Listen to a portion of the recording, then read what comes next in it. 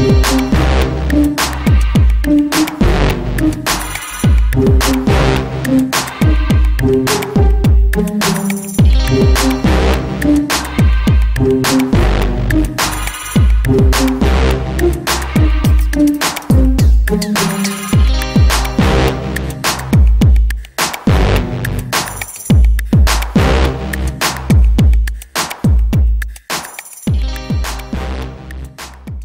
Hi folks, Yachtsman1 from the Pictures to Exe forum.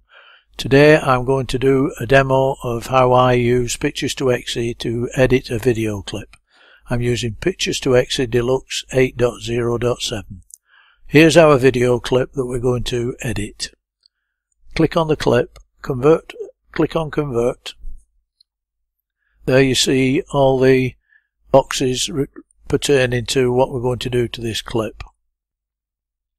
I'm dragging the cursor back to the beginning now and clicking on the start button to just run it through so you can see there is actual movement in the video clip. We'll stop that now and drag that back again.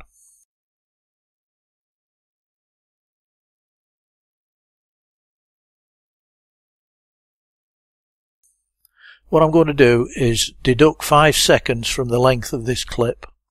So I'm going to trim the video Doing it the simple way is by dragging. This isn't particularly accurate, but it's good enough for this demonstration. I'm dragging it along now till I get to 5 seconds. There we are. Near as damn it. And I now click on Start Time. Going back up to the cursor on the progress bar, drag it to the right hand end and click on End Time. You've now got your time set. Up to convert all. Progress bar goes across. It's being converted.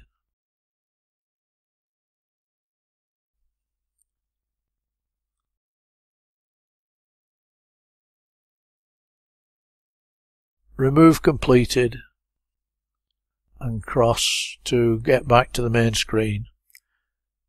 Here you can see a, a still shot from a wedding video that I did recently. I'm going to drag the converted video clip into the slide line.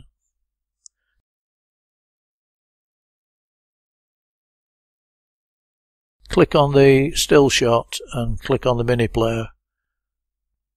As you can see it's a smooth transition. I'm going to add now the still shot again. Play that back through full screen so you can see how it performs.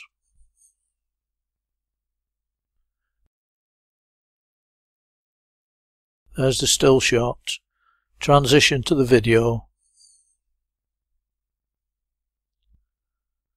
Transition to the still shot. And that's it. Thank you for watching.